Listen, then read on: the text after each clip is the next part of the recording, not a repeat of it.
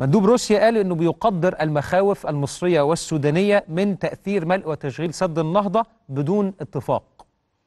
وقال إنه لا لا بديل عن التفاوض للوصول إلى اتفاق على أساس تفاهم التفاهم والثقة.